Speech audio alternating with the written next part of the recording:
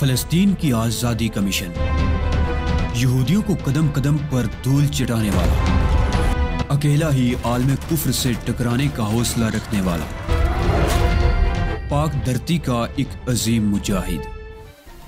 कुफर पर लावे की तरह बरसने वाले इस मुजाहिद की तवील दास्तान सुनने के लिए चैनल को सब्सक्राइब कीजिए और वीडियो को लाइक कीजिए।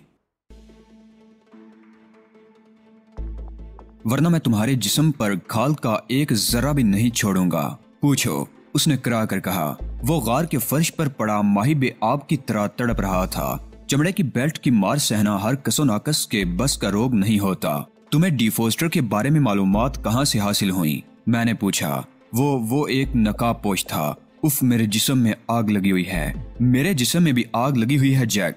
मैंने क्रख्त लहजे में कहा, लेकिन देखो, मैंने किस तरह जब्त कर रखा है। तुम भी जब्त करने की कोशिश करो, वरना ये आग मजीद फैल जाएगी। नहीं नहीं, वो दोनों हाथ उठाकर चीखा, अब मुझे मत मारना, मैं तुम्हारे हर सवाल का जवाब दूँगा। वो नकाब पोश कौन था, और उसने तुम्हें क्या बताया? उसने मुझसे कहा था कि अगर मैं उस बुढ़े को उसके हवाले कर दूँ आ तो वो मुझे माला माल कर देगा।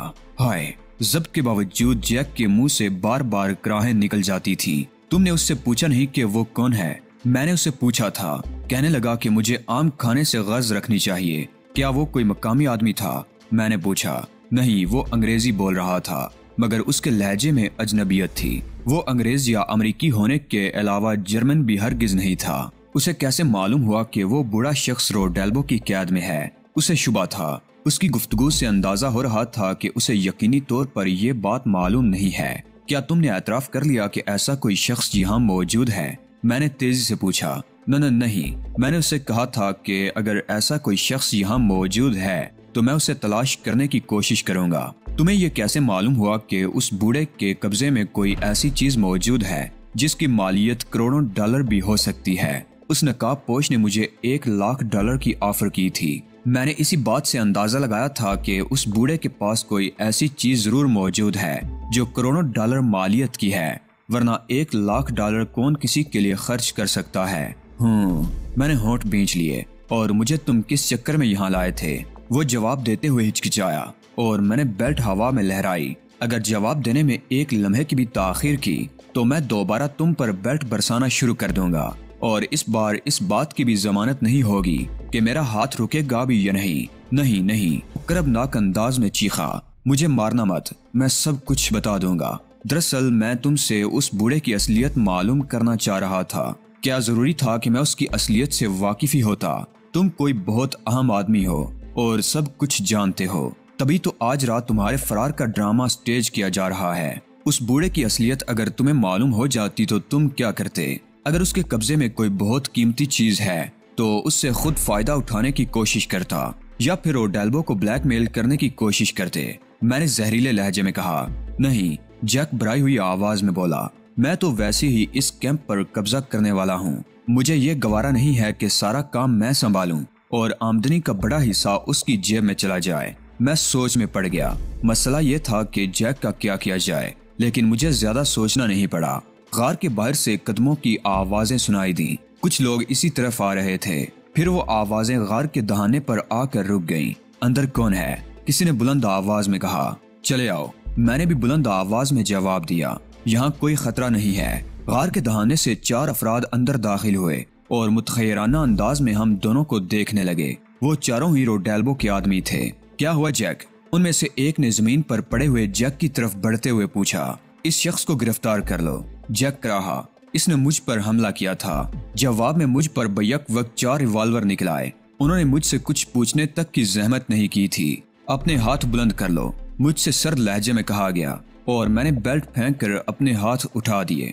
ये झूठ बोल रहा है, मैंने पुरसकून अंदाज में कहा। हमला मैंने नहीं, इसने मुझ पर किया था। इसकी कोई बात मत सुनो और इसे फौरी तौर पर गोली मार दो। जैक चीखा ये बहुत खतरनाक आदमी है। इसका फैसला तो बास खुद करेगा जैक। उस शख्स ने कहा जो जैक के करीब था, हमें तो इसकी हिफाजत पर मामूर किया गया है। लाओ मुझे रिवॉल्वर दो, मैं अपने हाथों से इसे मौत के घाट उतार दूँगा। जैक ने उठने की कोशिश की। जैक के करीब मौजूद शख्स उसकी तरफ़ रिवॉल्वर बढ़ाने ही वाला था कि गार के दाने की तरफ़ से एक पाटदार आवाज़ सुनाई दी। ठहर जाओ। जैक की तरफ़ बढ़ता हुआ उस शख्स का हाथ रुक गया और सब लोग गार के दहाने की तरफ़ देखने लगे, जिसे रोडेल्बो अंदर दाखिल हो रहा था। तुम अपने हाथ गिरा सकते हो। उसने मुझसे मुखातिब होकर कहा और अपने मातहतों को गोरने लगा। वो सब बौखला कर उससे नज़रें चुराने लगे। उनके रिवॉल्वर वाले हाथ खुद ब खुद झुक गए थे। तुम लोगों की इतनी ज़रूरत कैसे हुई? कि इस पर रिवॉल्वर निकालो। रोडेल्बो दाड़ा, क्या मैंने तुम्हें इसकी हिफाजत पर मामूर नहीं किया था?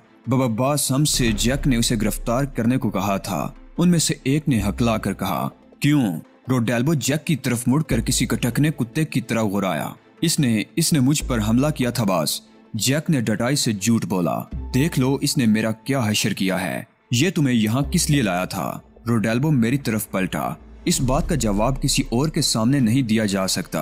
मैंने कहा ओ रोडेल्बो मुझे गौर से देखने लगा। इसका क्या किया जाए? उसने जैक की तरफ़ इशारा करके मुझसे पूछा, इसकी ज़िंदगी हम सब के लिए खतरनाक है। मैं असरार करूँगा कि इसे फिल फोर ठिकाने लगा दिया जाए। कम माल है। रोडेल्बो ने पलकें जिपकाई। मैंने भी यही फैसला किया है। उसने कहा, फिर अपने एक आदमी की तरफ़ हाथ बढ़ाया, रिवॉल्वर दो। लेकिन मेरा कसूर क्या है? जैक उछल कर खड़ा हो गया। मौत के खौफ ने उसकी चोटों का एहसास जायल कर दिया था। तुम इस लोंडे के कहने पर अपने बरसों के साथी को मार देने पर तुल गए हो। बेफिक्र रह एहसान फरामोश कुत्ते। रोडेल्बो ने रिवॉल्वर लेते हुए नफरत से कहा, तुझे मारने से कबल मैं तेरी फर्द जुर्म तुझे ज़रूर सुनाऊँगा। तू मुझे आमक और बेखबर समझता है, लेकिन मुझे सब मालूम है। तुम मुझे रास्ते से हटाने के लिए मुझ पर झूठा इल्ज़ाम आयद कर रहे हो। जैक ने कहा, मगर उसके लहजे में जान बाकी नहीं रह गई थी। क्या ये भी गलत है कि तू मेरे मेहमान को झूठ बोलकर यहाँ लाया था? इसके बाद ये परवाह किए बगैर कि वो मेरा मेहमान है। तूने इसकी मौत का हुक्म जारी कर दिया था। अगर मैं बर वक्त यहाँ न पहुँच गया होता तो तूने तो इसे मरवा देने की कोई कसर नहीं छोड़ी थी।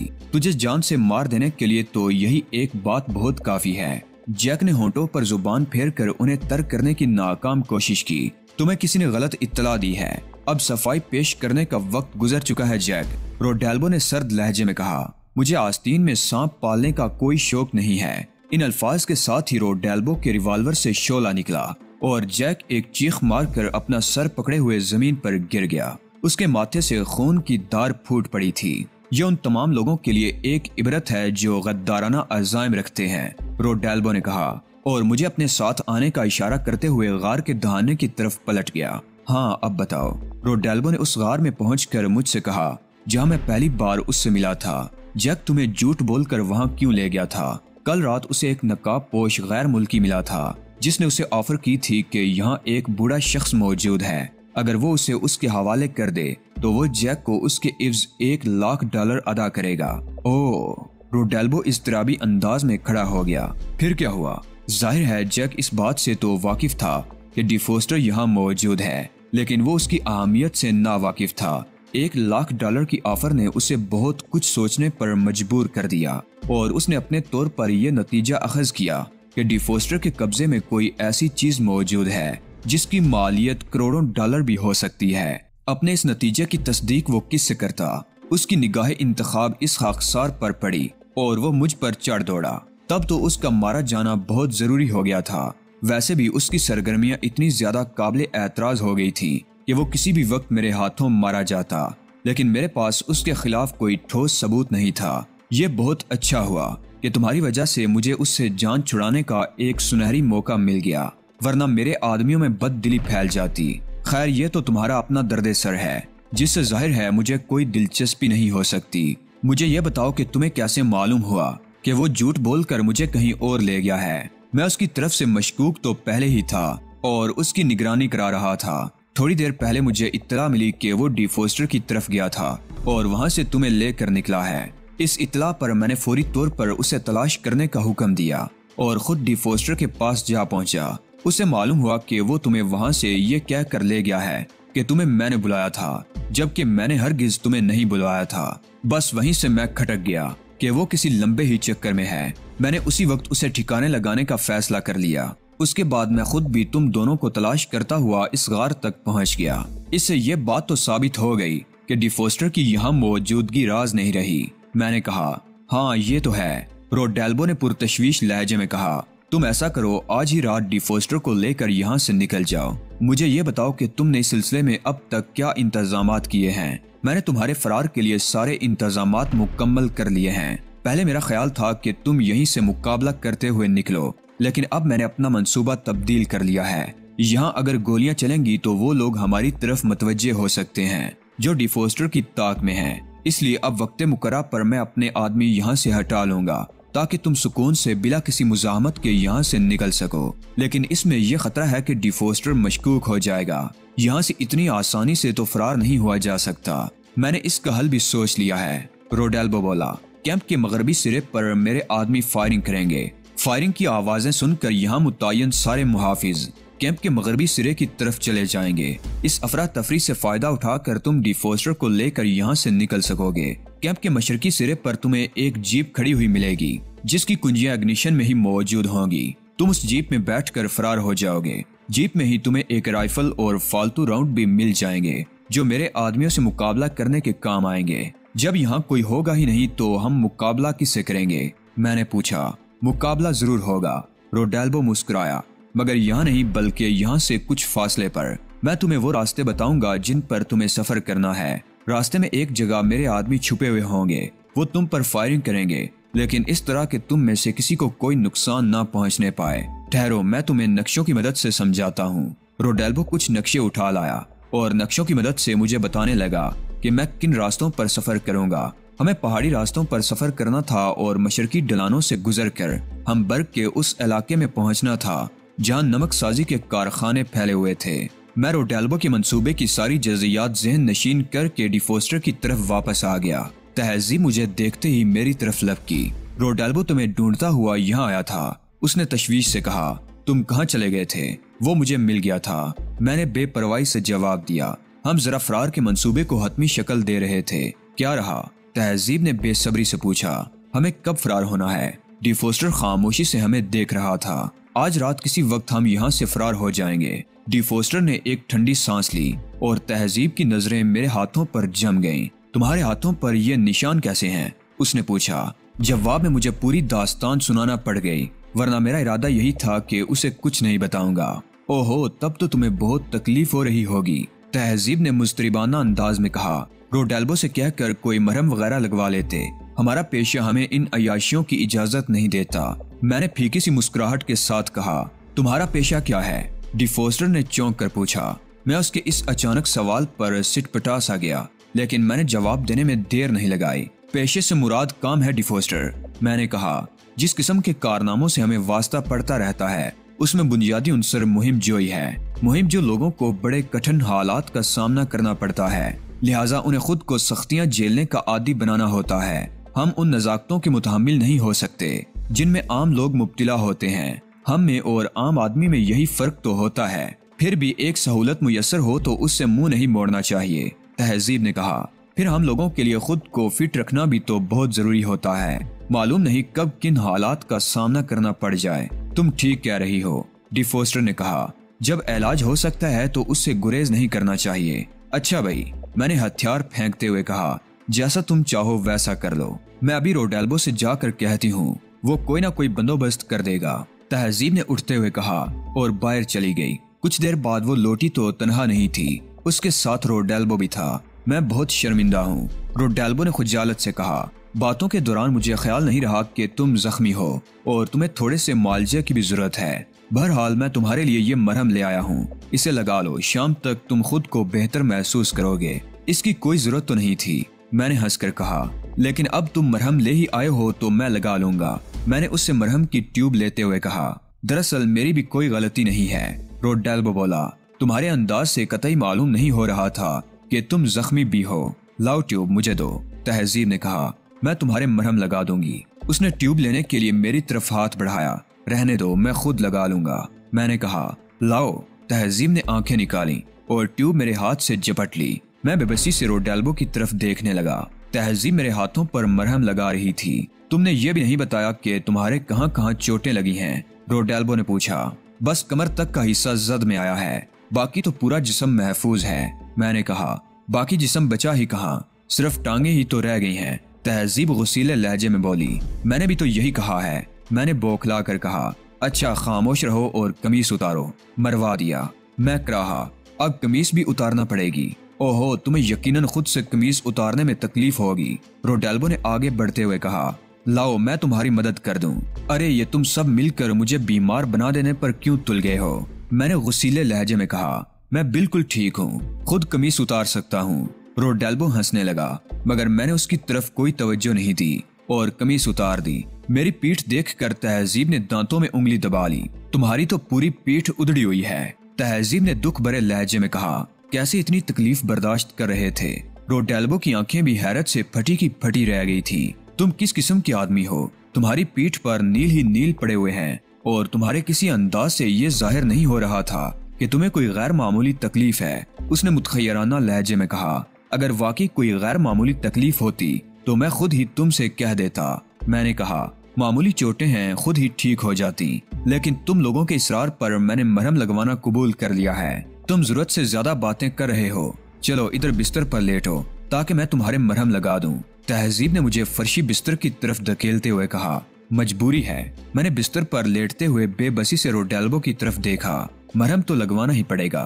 रोडेल्बो मुतखैराना अंदाज में मुझे देखे जा रहा था। अब तो मुझे किंग अटलस से हसद महसूस होने लगा है। उसने तुम्हारा क्या बिगाड़ा है? मैंने पूछा, तहजीब के नरमो नाजुक हाथ मेरी पीठ पर मसीहाई करने में मसरूफ थे। मरहम ने उस शदीद तकलीफ़ को जायल कर दिया था, जो मैं उस वक्त तक महसूस करता रहा था। मैं यकीन से नहीं कह सकता था कि वो मरहम की तासीर थी या तहजीब के हाथों की लताफत का करिश्मा। बात कुछ भी रही हो, मेरे जख्मों में ठंडक सी पड़ गई थी। उसने तो कुछ भी नहीं बिगाड़ा। रोडेल्बो ने एक ठंडी सांस लेकर कहा, लेकिन मैं सोच रहा हूँ कि तुम्हारी मुलाकात पहले उससे क्यों हुई? मुझसे क्यों नहीं हुई? इससे क्या फ़र्क पड़ता है? मैंने पूछा आज तुम उसके बजाय मेरे लिए काम कर रहे होते। अब मैं तुम्हारी खिदमत से इस्तेफादा नहीं कर सकता, और वो कर सकता है। ये तुमसे किसने कह दिया, रोडेल्बो? मैंने हैरत से कहा, जब भी तुम्हें हमारी ज़रूरत पड़ेगी, हम तुम्हारी खिदमत के लिए हाजिर होंगे। हमारे लिए तुम और किंग अटलस कोई अलग अलग थोड़ी हो। रोडेल्बो खुश हो गया। अपना वादा याद रखना। उसने कहा, यह कोई वादा तो नहीं है, रोडेल्बो। ये तो एक हकीकत का इजहार है। वक्त आने पर तुम इसकी सदाकत खुद देख लोगे। ठीक है, अब मैं जाऊँगा। कुछ अहम काम निपटाने हैं। अगर मेरी कोई ज़रूरत हो तो बिला तकलीफ़ बुलवा लेना। अरे नहीं, रोडेल्बो। अगर कोई ज़रूरत पड़ गई तो मैं खुद आ जाऊँगा। रोडेल्बो चला गया। तहजीब मरहम लगा चुकी थी और मुझसे खासी खफा नज़र आ रही थी। तुम इतने जख्मी थे। कम अज कम मुझसे तस्करा तो करना चाहिए था। उसने खफगी से कहा यह कोई इतनी अहम बात तो नहीं थी। फिर यह कि तुम खाम खाम मामूली सी चोटों को इतनी अहमियत दे रही हो। तुम्हारी कुत बर्दाश्त वाकई बहुत ज़्यादा है डिफोस्टर बोला। इसीलिए तुम्हारी नज़रों में इन चोटों की अहमियत नहीं है। मैं हंस कर खामोश हो गया। दिन यूँ ही गुजर गया। शाम के वक्त रोडेल्बो मेरे पास आया। तुम्हारी चोटों का क्या हाल है? उसने पूछा। पहले भी ठीक ही था और अब तो मुझे महसूस ही नहीं हो रहा कि कभी मेरे कोई चोट लगी थी। क्या तुम कुछ देर के लिए मेरे साथ चल सकते हो? बिल्कुल, मैंने उठते हुए कहा। चलो, मैं उसके साथ बाहर निकल आया। मैंने तुम्हारे फरार के इंतज़ाम को आखिरी शक्ल दे दी है। रोडेल्बो ने मेरे साथ चलते हुए कहा, तुमने नक्शे समझ लिए? बहुत अच्छी तरह। मैंने जवाब दिया, तुम यहाँ अजनबी हो, इसलिए तमाम नक्शे समझने के बावजूद तुम्हें दिक्कत होगी। कहीं ऐसा न हो कि एन वक्त पर रास्तों की तलाश की वजह से तुम्हें देर हो जाए। ऐसा नहीं होगा, रोडेल्बो। मैंने बड़े एतमाद से कहा, जितनी तफसील से तुमने हर बात मुझे समझा दी है, उसके बाद किसी गड़बड़ का इम्कान बाकी नहीं रह जाता। सोच लो रोडेल्बो ने कहा। उसके लहजे में तशवीश थी। रात के वक्त अंधेरा होगा और अंधेरे में रास्तों की तलाश बेफिक्र हो रोडेल्बो अगर इस बात का एक फ़ीसद भी इम्कान होता तो मैं तुमसे फरमाइश करता कि रात के ड्रामे की मुझे हल्की सी रिहर्सल करा दो। मैं इसीलिए तुम्हें लाया था, लेकिन रोडेल्बो ने जुमला अधूरा छोड़ दिया। उसके अंदाज से फिक्रमंदी ज़ाहिर हो रही थी। तुम अब भी मुतमाइन नहीं हो रोडेल्बो मैंने कहा। किसी मंसूबे पर अमल करते हुए मुकम्मल यकीनो इतमान की ज़रूरत होती है। क्योंकि तुम भी इस ड्रामे के एक फ्रीक हो, लिहाजा तुम्हारा मुतमाइन होना भी ज़रूरी है। तुम यूँ क्यों नहीं करते कि यहाँ से फरार होने की रिहर्सल कर लो? आखिर इसमें हर्ज भी क्या है? हर्ज तो कोई नहीं है रोडेल्बो, बल्कि इसकी ज़रूरत भी नहीं थी। लेकिन महज तुम्हारे इत्मीनान के लिए मैं तुम्हें रिहर्सल करके दिखाऊँगा। मैंने कहा, यह रिहर्सल मैं अकेले ही कर सकता हूँ या नहीं, तुम्हारे साथी के लिए रिहर्सल करना ज़रूरी नहीं। एक आदमी के लिए रिहर्सल बहुत काफ़ी है। तो आओ रोडेल्बो, लेकिन तुम मुझसे एक कदम पीछे ही रहोगे। अगर मैं कोई गलती करूँ तो टोक देना। मैं उस मकाम की तरफ़ जा रहा हूँ जहाँ एक जीप हमारी मुंतजर होगी।